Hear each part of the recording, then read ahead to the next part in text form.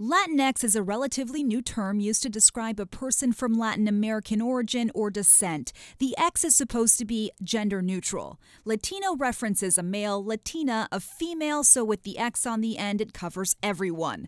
According to Google Trends, the term first appeared online in 2004 in Puerto Rican academic papers to quote, challenge the gender binaries encoded in the Spanish language.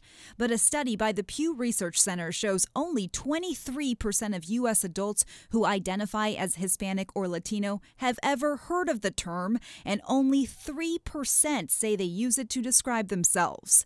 The confusion stems from trying to lump people from so many different countries and cultures together.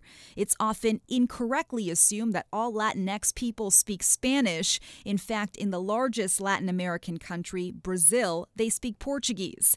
And in some Caribbean countries like Haiti, they speak French. Another misconception is that all Latinx people are brown in skin color. Some countries like Chile are predominantly white. Latinx is just the latest in the struggle to appropriately identify this group of people.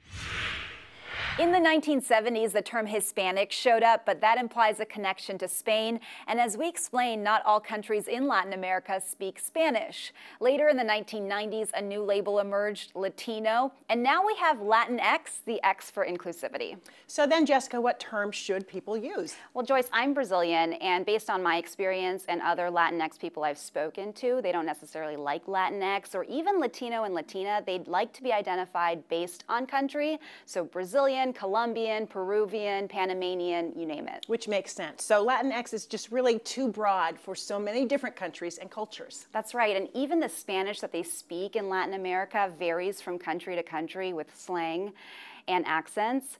And a lot of the US stereotypes, especially here on the West Coast, are based on Mexico.